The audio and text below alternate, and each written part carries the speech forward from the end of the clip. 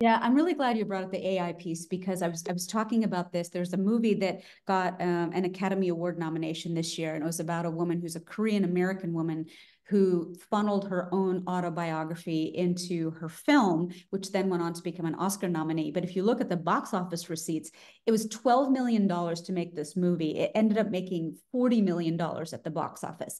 Now, that personal story, which is hers and hers only, cannot be generated by any AI tool. I think some of the most amazing stories are still going to come from people. And she was able to funnel that into a very smart thing, find financiers and be able to produce, you know, obviously a very bar- big margin on that. So I think that that brand of storytelling that is unique to you and only you is never, ever going to be able to be replaced.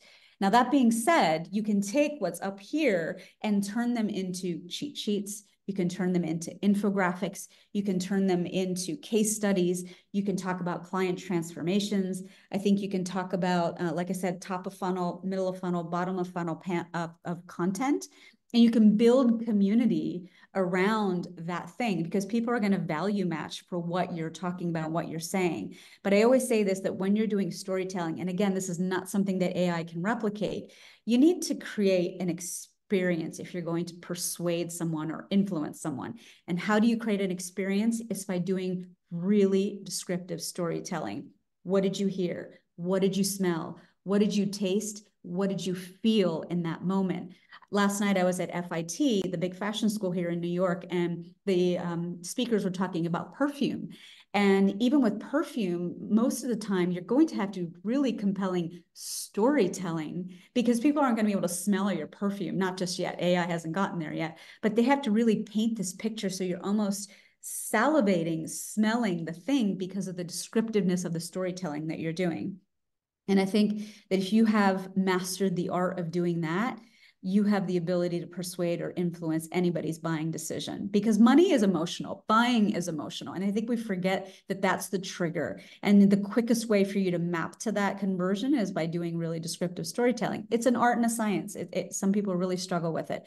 I have a chef that i'm working with who has been sitting on a supper club concept for three years.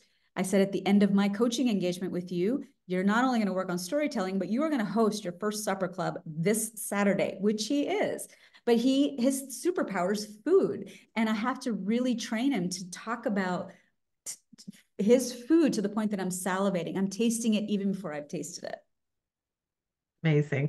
Um, Ellen and Adrian, can I just bring you back in, both of you there for a minute, and then we'll open up for any questions. So please, it's a, not a huge group this evening, so we'll just ask people to put their hands up and take their mics off if you want to ask any questions.